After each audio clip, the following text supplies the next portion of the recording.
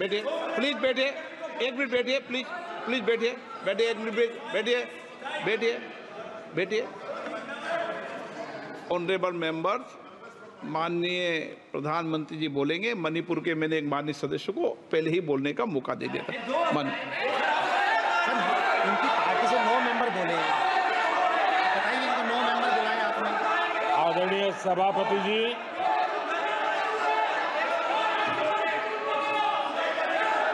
मैं राष्ट्रपति जी के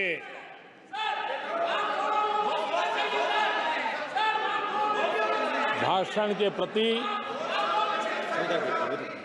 आभार व्यक्त करने के लिए उपस्थित हुआ हूँ।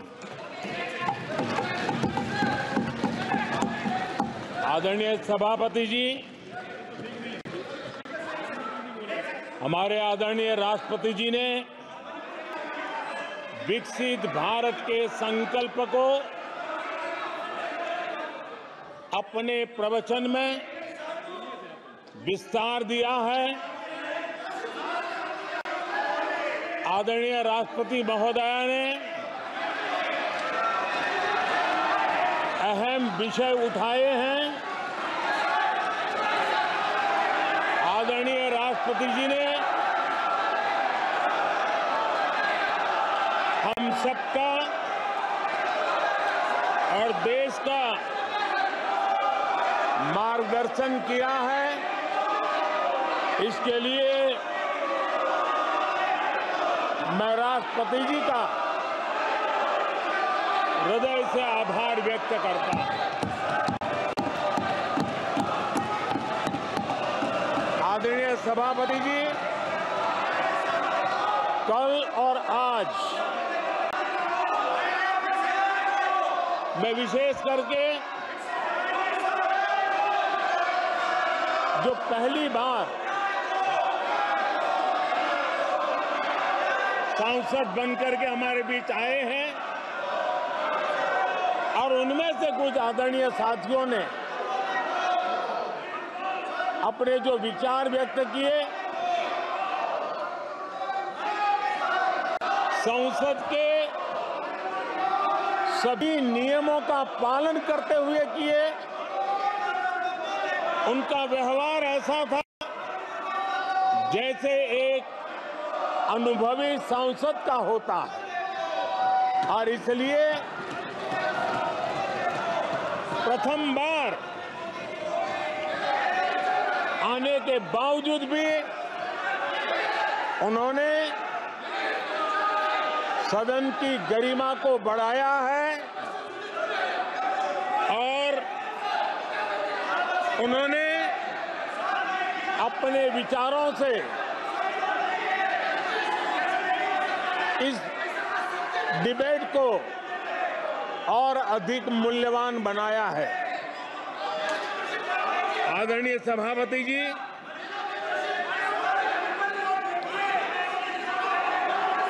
देश ने एक सफल चुनाव अभियान को पार करते हुए विश्व को दिखा दिया है कि दुनिया का सबसे बड़ा चुनाव अभियान था। देश की जनता ने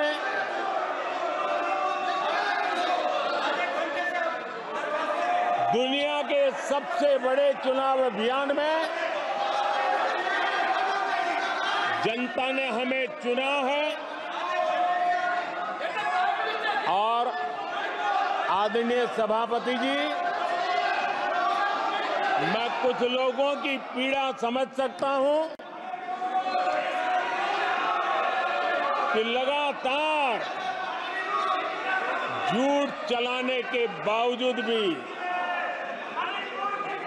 उनका घोर पराजय हुआ।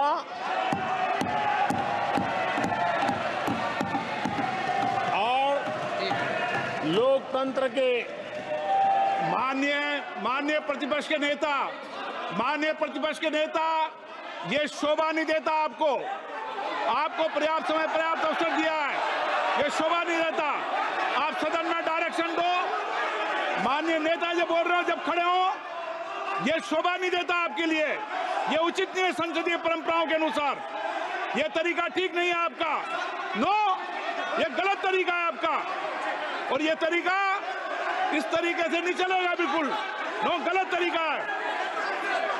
नो ऐसे संसद के अंदर गरिमा बना के रखें आप। आप गरिमा को तोड़ना चाहते हैं? आप संसद मर्यादा पीछे पीठ पीछे नहीं करें आप। आपको गरिमा नहीं सदन की। डायरेक्शन देते आप बेल में आने के लिए लोगों को। ये आपको ये प्रतिपक्ष के नेता है आप। नो गलत तरीका आपका। माननीय प्रधानमंत्री जी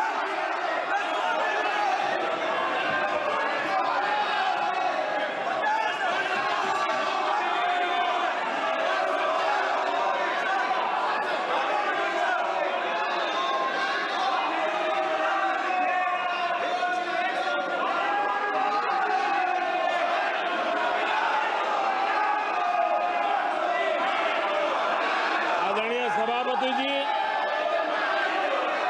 ये विश्व का सबसे बड़ा चुनाव अभियान। और उसमें भारत की जनता ने हमें तीसरी बार देश की सेवा करने का मौका दिया है। ये अपने आप में लोकतांत्रिक विश्व के लिए बहुत ही महत्वपूर्ण घटना है। बहुत ही गौरवपूर्ण घटना है। आदरणीय सभापति जी हमें हर कसौटी पर कसने के बाद देश की जनता ने ये जनादेश दिया है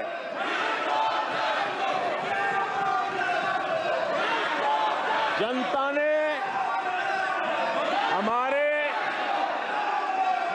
10 साल के ट्रैक रिकॉर्ड को देखा है।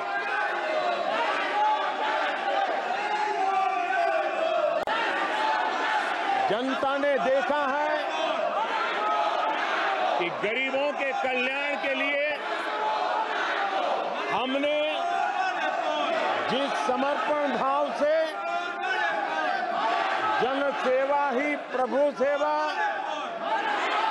इस मंत्र को चरितार्थ करते हुए हमने जो कार्य किया है, उसके कारण 10 साल में 25 करोड़ गरीब गरीबी से बाहर निकले। देश की आज़ादी के कालखंड में, इतने कम समय में, इतने लोगों को गरीबी से बाहर निकालने का ये सफल प्रयास इस चुनाव में हमारे लिए आशीर्वाद का कारण बना है। आदरणीय सभापति जी, हम 2014 में जब पहली बार जीत करके आए थे तो चुनाव के अभियान में भी हमने कहा था कि हमारा करप्शन के प्रति ज़ीरो टॉलरेंस रहेगा। और आज मुझे गर्व है कि हमारे सरकार ने देश का सामान्य मानवी जो करप्शन के कारण पीड़ित है देश को करप्शन ने दीमक की तरह खोखला कर दिया है। ऐसे में भ्रष्टाचार के प्रति हमारी जो ज़ीरो टॉलरेंस नीति है, आज देश ने हमें उसके लिए आशीर्वाद दिया है। आदरणीय सभापति जी आज दुनिया भर में भारत की साख बड़ी है। आज विश्व में भारत का गौरव हो रहा है। और भारत के करीब देखने का नज़रिया भी एक गौरवपूर्ण नज़रिया हर भारतवासी अनुभव करता है। आदरणीय सभापति जी, देश की जनता ने देखा है कि हमारा एकमात्र लक्ष्य नेशन फ़र्स्ट है, भारत सर्वप्रथम है। हमारे हर नीति, हमारे हर निर्णय, हमारे हर कार्य का एक ही तराजू रहा है कि भारत प्रथम और भारत की इस प्रथम की भावना के साथ देश में जो आवश्यक रिफॉर्म थे, उस रिफॉर्म को भी हमने लगातार जारी रखा है। दस वर्ष में हमारी सरकार सबका साथ, सबका विकास इस मंत्र को लेकर के लगातार देश के सभी लोगों का कल्याण करने का प्रयास करती रही। आदरणीय सभापति जी, हम उस सिद्धांतों को समर्पित है, जिसमें भारत के संविधान के स्पिरिट के अनुसार सर्वपंथ संभाव उस विचार को सर्वोपरि रखते हुए हमने की सेवा करने का प्रयास किया। आदरणीय सभापति जी, इस देश ने लंबे अरसे तक तुष्टीकरण की राजनीति भी देखी। इस देश ने लंबे अरसे तक तुष्टीकरण का गवर्नेंस का मॉडल भी देखा। देश ने पहली बार सेक्युलरिज्म का एक पूरा हमने जो प्रयास किया और वो हमने तुष्टिकरण नहीं, संतुष्टिकरण और संतुष्टिकरण के विचार को लेकर के हम चले हैं। और जब हम संतुष्टिकरण की बात करते हैं तो इसका मतलब है कि हर योजना का सेचुरेशन। गवर्नर, गवर्नेंस की आखिरी व्यक्ति तक पहुँचने की हमारी जो संकल्पना है, इसको परिपूर्ण करना। और जब हम सेचुरेशन के सिद्धांत को लेकर चलते हैं, तब सेचुरेशन सच्चे अर्थ में सामाजिक न्याय होता है। सेचुरेशन सच्चे अर्थ में सेक्युलरिज्म होता है और उसी को देश की जनता ने हमें तीसरी बार बिठा करके मोहर लगा दी है।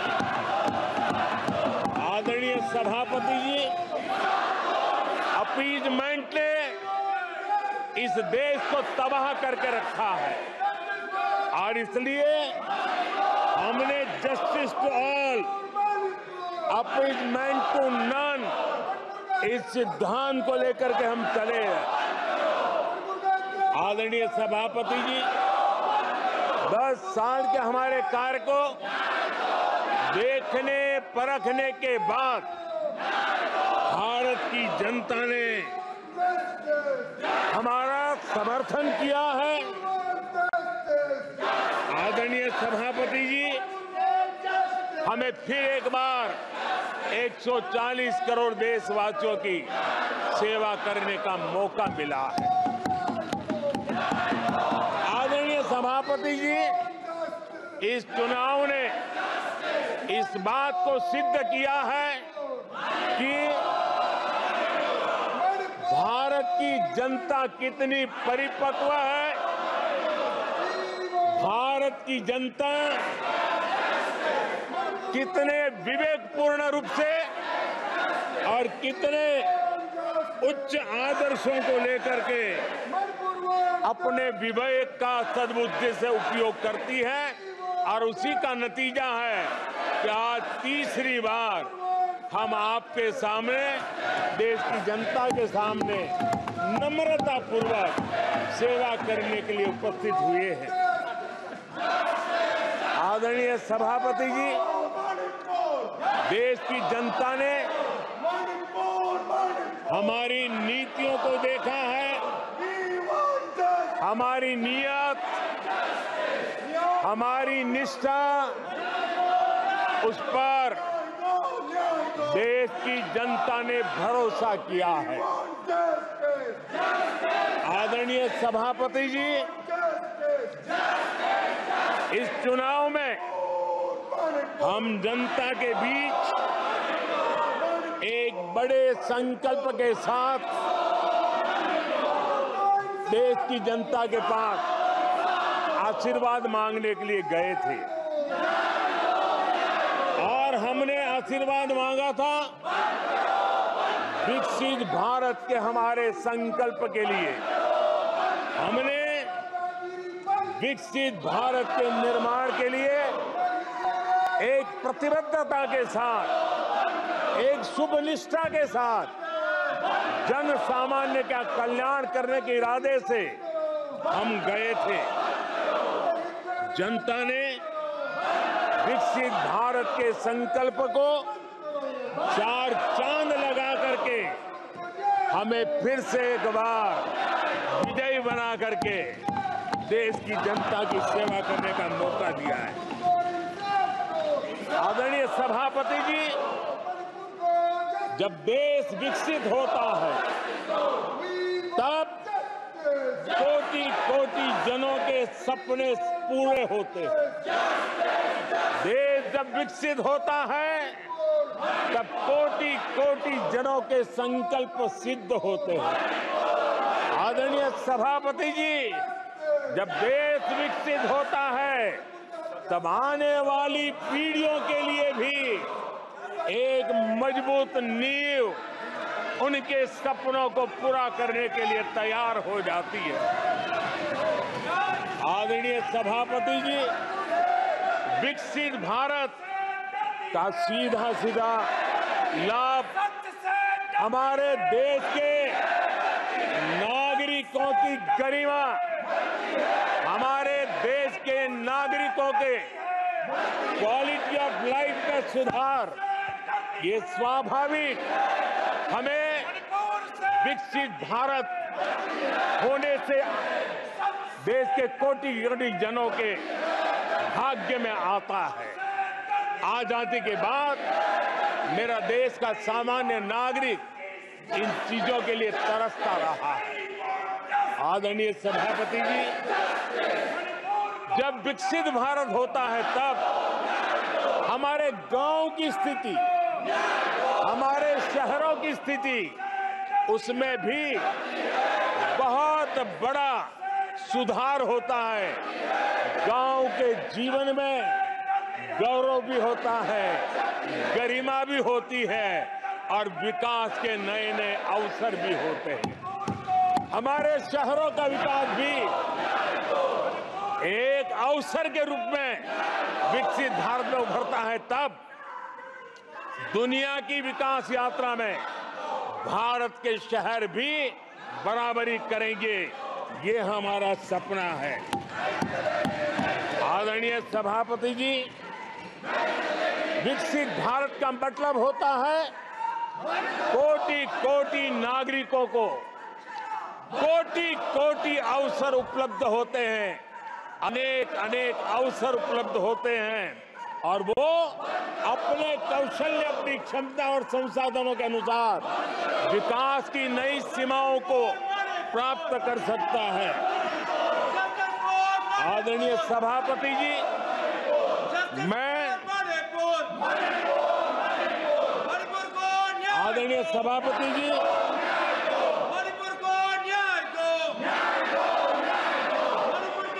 आदरणीय सभापति जी। मैं आज आपके माध्यम से देशवासियों को विश्वास दिलाता हूँ। मैं देशवासियों को विश्वास दिलाता हूँ कि विकसित भारत के जिस संकल्प को लेकर के हम चले हैं, उस संकल्प की पूर्ति के लिए हम भरसक प्रयास करेंगे। पूरी निष्ठा से करेंगे। पूरी ईमानदारी से करेंगे। और हमारा समय का पल पल और हमारे शरीर का कण कण हम देशवासियों को विकसित भारत के सपने को पूरा करने के लगाएँगे। हमने देश की जनता को कहा था 24 फोर बाय सेवन फॉर 2047 आज मैं इस सदन में ही दोहराता हूँ कि हम उस काम को अवश्य पूरा करेंगे। आदरणीय सभापति जी मणिपुर को न्याय 2014 के उन दिनों को याद कीजिए। उन 2014 के उन दिनों को याद करेंगे तो हमारे ध्यान में आएगा कि हमारे देश के लोगों ने उनका आत्मविश्वास खो चुका था। देश निराशा की गर्द में डूब चुका था। ऐसे समय 2014 के पहले देश ने जो सबसे बड़ा नुकसान भुगता था, जो सबसे बड़ी अमानत खोई थी, वो था देशवासियों का आत्मविश्वास। और जब विश्वास और आत्मविश्वास खो जाता है, तब उस व्यक्ति को, उस समाज को, देश को खड़ा होना मुश्किल हो जाता है। और उस समय सामान्य मानवी के मुँह से यही निकलता था कि वो इस देश का कुछ हो नहीं सकता। उस समय हर जगह पे ये सात शब्द सुनाई देते थे। इस देश का कुछ नहीं हो सकता। यही शब्द 2014 के पहले सुनाई देते थे। भारतीयों की हताशा के इन सात शब्द एक प्रकार से पहचान बन गए थे। उस समय आए दिन अखबार खोलते थे तो घोटालों की खबरें ही पढ़ने को मिलती थी। और सैकड़ों करोड़ के घोटाले, रोज नए घोटाले, घोटालों की घोटालों से स्पर्धा, ये घोटाले घोटालेबाज लोगों के घोटाले, इसी का एक कालखंड था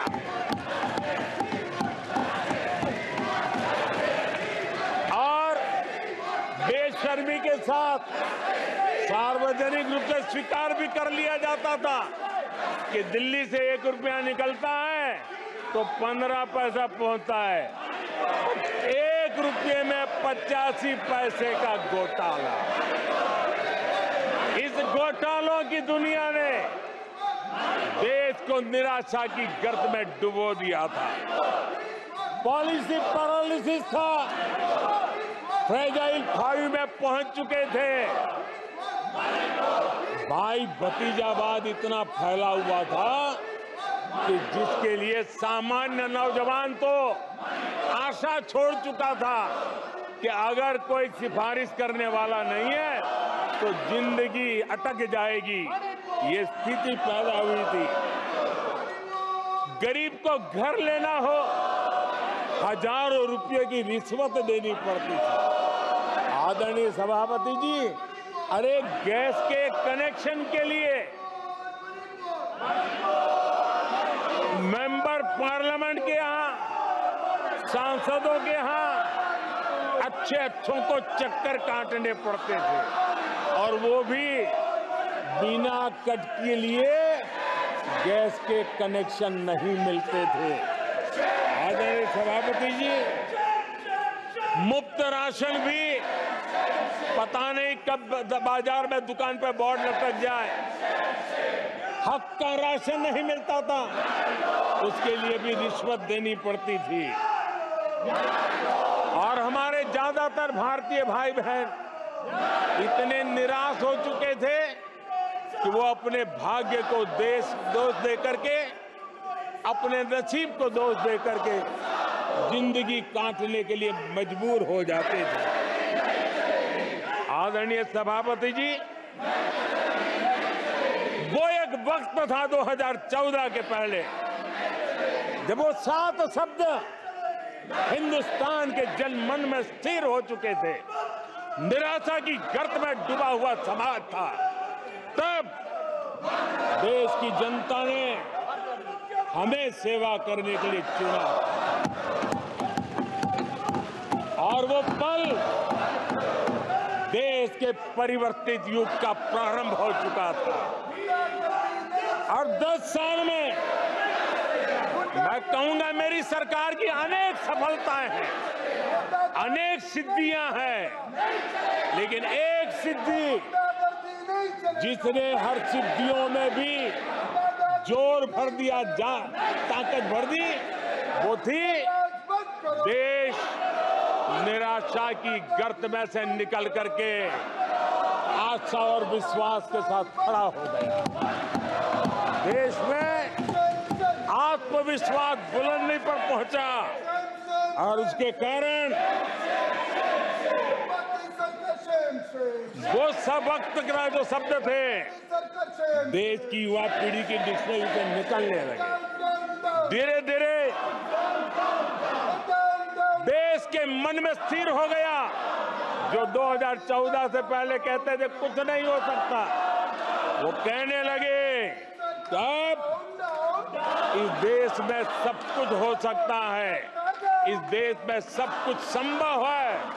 ये विश्वास जताने का काम किया हमने। जब हमने सबसे पहले तेज 5G रोल आउट हमने दिखाया, आज देश कहने लगा, तीव्र गति से 5G का रोल आउट होना, देश गौरव से कहने लगा भारत कुछ भी कर सकता है। आदरणीय सभापति जी, वो एक जमाना था जब कोयले घोटाले में बड़ों बड़ों के हाथ काले हो चुके थे। आज कोयले का सर्वाधिक उत्पाद, सर्वाधिक प्रोडक्शन आज कोल प्रोडक्शन के विक्रम हुए हैं। और इसी के कारण देश अब कहने लगा है, अब भारत कुछ भी कर सकता है। आदरणीय सभापति जी, वो एक समय था 2014 के पहले, जब फ़ोन बैंकिंग फ़ोन बैंकिंग करके बड़े बड़े बैंक घोटाले किए जा रहे थे। अपनी पर्सनल प्रॉपर्टी की तरह बैंक का खजाना लूट लिया गया था। आदरणीय सभापति जी 2014 के बाद नीतियों में परिवर्तन, निर्णयों में गति, निष्ठा प्रामाणिकता की, और उसी का परिणाम है, दुनिया की अच्छी बैंकों में आज भारत की बैंकों का स्थान बन गया। आज भारत की बैंक सर्वाधिक मुनाफा करने वाली बैंक बन गई और लोगों की सेवा करने की जगह। आदरणीय सभापति जी 2014 के पहले वो भी एक वक्त था कि जब आतंकी आकर के जी चाहे वहाँ, जब चाहे वहाँ हमला कर सकते थे। 2014 के बाद स्थिति ये बनी कि जब वहाँ उस समय 14 के पहले निर्दोष लोग मारे जाते थे, हिंदुस्तान के कोने कोने को टारगेट किया जाता था और सरकारें चुपचाप बैठी रहती थी। मुँह तक खोलने को तैयार नहीं थी। आज 2014 के बाद का हिंदुस्तान घर में घुसकर मारता है। सर्जिकल स्ट्राइक करता है। एयर स्ट्राइक करता है। और आतंकवाद के आकाओं को भी सबक सिखाने का सामर्थ्य दिखा दिया है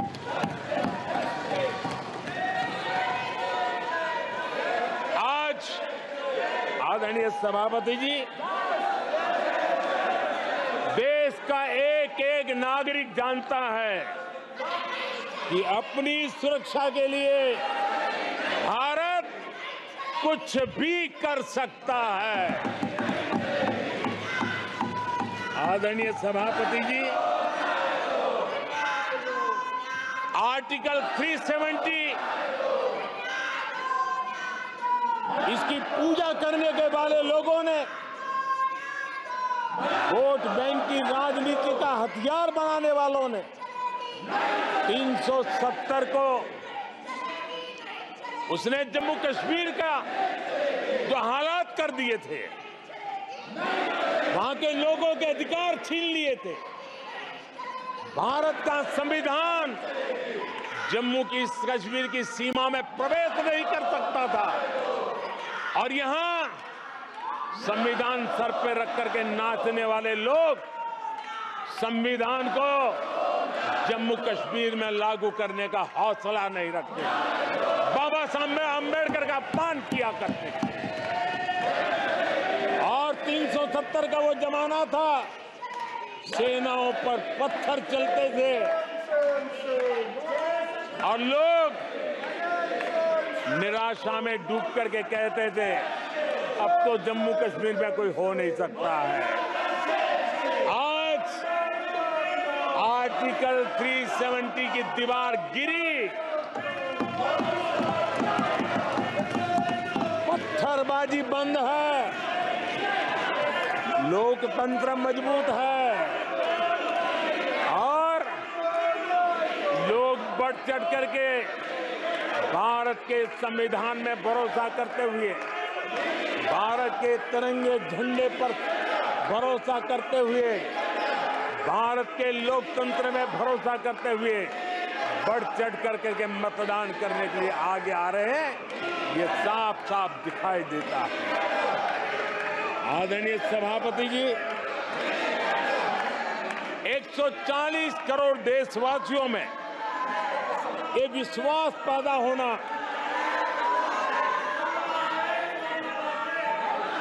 ये उम्मीद और जब विश्वास जगता है तो विकास का वो ड्राइविंग फोर्स बन जाता है। इस विश्वास ने विकास का ड्राइविंग फोर्स का काम किया। है आदरणीय सभापति जी ये विश्वास। विकसित भारत संकल्प से सिद्धि का विश्वास है। आदरणीय सभापति जी, जब आज़ादी का जंग चल रहा था और जो भाव देश में था, जो जोश था, उत्साह था, उमंग था, जो विश्वास था कि आज़ादी लेके रहेंगे। आज देश के कोटि कोटि जनों में वो विश्वास पैदा हुआ है, जिस विश्वास के कारण आज विकसित भारत होना एक प्रकार से उसकी मज़बूत नींव इस चुनाव में शिलान्यास हो चुका है। जो ललक आज़ादी के आंदोलन में थी, वही ललक विकसित भारत के इस सपने को साकार करने में है।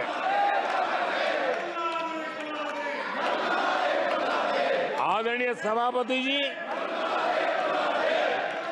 आज भारत के लक्ष्य बहुत विराट है। और आज भारत को एक ऐसी स्थिति पर 10 साल में पहुँचा है कि हमें खुद से ही स्पर्धा करनी है।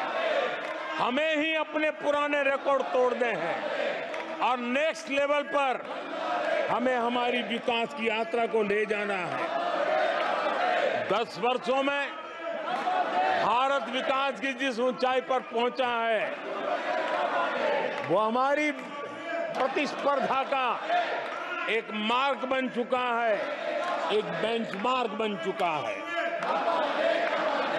पिछले दस साल में हमने जो स्पीड पकड़ी है, अब हमारा मुकाला अब हमारा मुकाबला उसी स्पीड को और ज़्यादा स्पीड में ले जाने का है।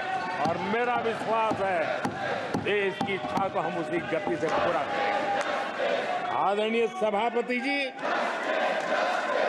हम हर सफलता को, हर सेक्टर को नेक्स्ट लेवल तक ले जाएँगे। आदरणीय सभापति जी, दस सालों में भारत की इकोनॉमी को 10 साल के अल्पकाल में हम 10 नंबर से इकोनॉमी को पाँच नंबर पे ले गए हैं। अब हम नेक्स्ट लेवल पर जाने के लिए जिस गति से निकले हैं अब हम देश की इकोनॉमी को नंबर तीन पर ले जाएँगे। आदरणीय सभापति जी, दस सालों में हमने भारत को मोबाइल फ़ोन का बड़ा मैन्युफैक्चरर बना दिया। भारत को मोबाइल फ़ोन का बड़ा एक्सपोर्टर बना दिया। अब यही काम इस हमारे टेन्योर में सेमीकंडक्टर और अन्य सेक्टर्स में हम करने जा रहे हैं। दुनिया के महत्वपूर्ण कामों में जो चिप्स काम में वो चिप्स मेरे भारत की मिट्टी में तैयार हुई होगी। मेरे भारत के नौजवानों की बुद्धि का परिणाम होगा। मेरे भारत के नौजवानों के परिश्रम का परिणाम होगा। ये विश्वास हमारे भीतर है। आदरणीय सभापति जी, हम आधुनिक भारत की तरफ़ भी जाएँगे। हम विकास की नई ऊंचाइयों को लेकिन हमारी जड़ें ज़मीन से जुड़ी रहेगी। हमारे पैर देश के जन सामान्य की ज़िंदगी से जुड़े रहेंगे। और हम चार करोड़ गरीबों के घर बना चुके हैं।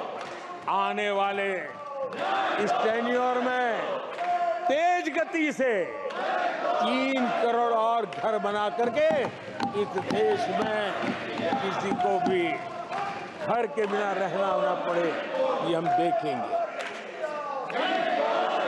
आदरणीय सभापति जी, दस साल में, विमेन सेल्फ हेल्प ग्रुप में, हमने देश की कोटि कोटि बहनों को,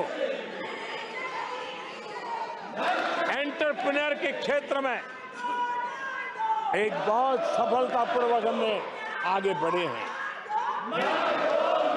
अब हमने उसको नेक्स्ट लेवल पे ले जाने वाले हैं।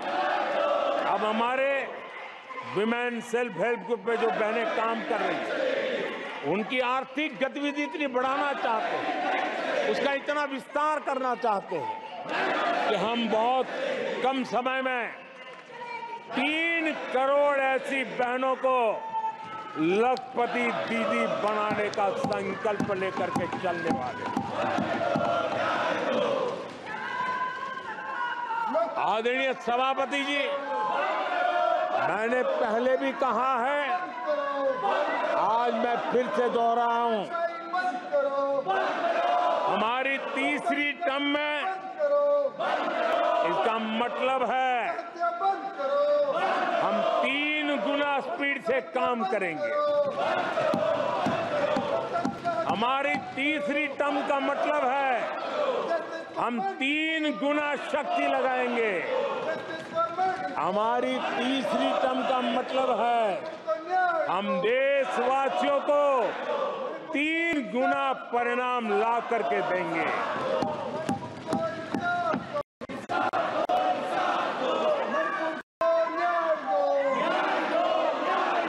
मणिपुर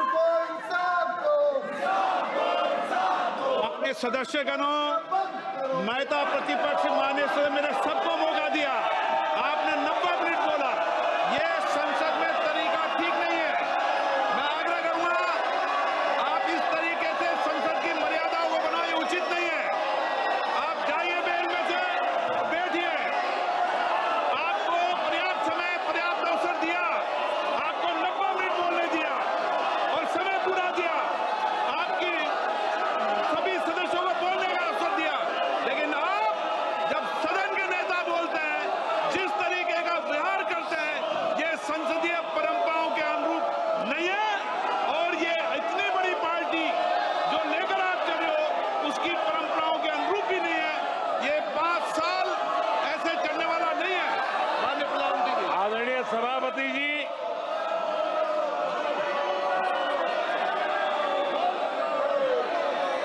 आदरणीय सभापति जी एनडीए का तीसरी बार सरकार में आना ये एक ऐतिहासिक घटना है आज़ादी के बाद ये सौभाग्य दूसरी बार इस देश में आया है और 60 साल के बाद आया है इसका मतलब ये सिद्धि पाना कितना कठोर परिश्रम के बाद होता है। कितना अभूतपूर्व विश्वास संपादन होने के बाद होता है। ऐसे ही राजनीति के खेल से नहीं होता है। जनता जनार्दन की सेवा से प्राप्त, आशीर्वाद से होता है। आदरणीय सभापति जी जनता ने हमें स्थिरता और निरंतरता इसके लिए जनादेश दिया। लोकसभा चुनाव के साथ ही आदरणीय सभापति जी, लोगों की नज़र से यह चीज़ें जरा ओझल हो गई। लोकसभा के चुनाव के साथ साथ हमारे देश में चार राज्यों के बीच चुनाव हुए। और आदरणीय सभापति जी, इन चारों ही राज्यों में एनडीए ने अभूतपूर्व सफलता प्राप्त की है। अभूतपूर्व सफलता प्राप्त। हमने शानदार विजय प्राप्त की है। महाप्रभु जगन्नाथ जी की धरती उड़ीसा ने। हमें भरपूर आशीर्वाद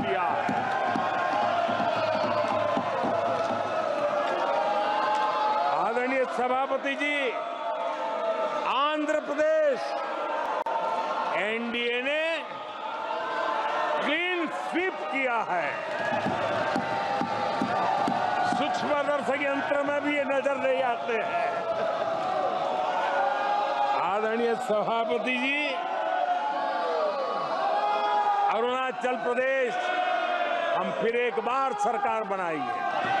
सिक्किम में एनडीए ने फिर एक बार सरकार बनाई है। अभी छह महीने पहले ही आदरणीय सभापति जी, आपका होम स्टेट राजस्थान मध्य प्रदेश और छत्तीसगढ़ में हमने प्रचंड विजय पाया है। आदरणीय सभापति जी, हमें नए नए क्षेत्रों में